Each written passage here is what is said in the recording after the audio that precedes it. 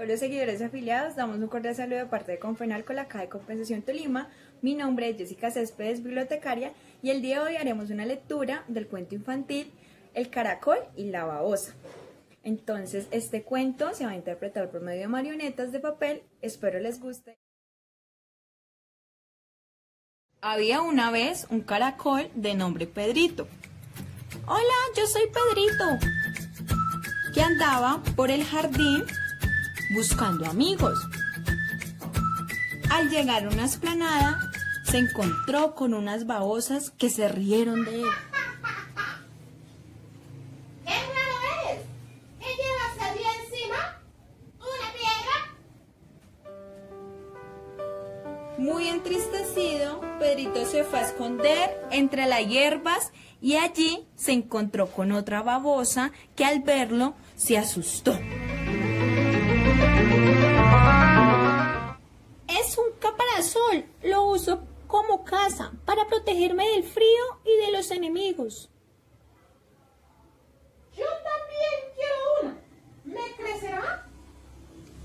A la babosa le pareció una excelente idea. Y Pedrito le dijo, No, pero podemos buscar uno para ti.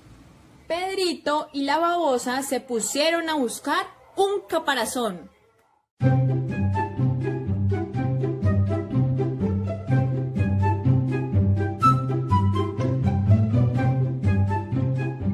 Encontraron uno, pero la babosa dijo.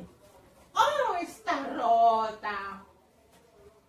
Siguieron caminando y caminando y caminando, pero la babosa dijo. Es muy pequeña. Es inútil. Nunca encontraré un caparazón para mí.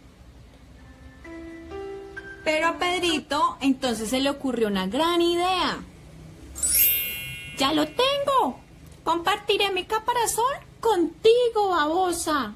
¿En serio? ¡Claro! Desde entonces, Pedrito y la babosa viven juntos. La babosa se protege del frío y Pedrito camina más de brisa. Nos vemos en la próxima.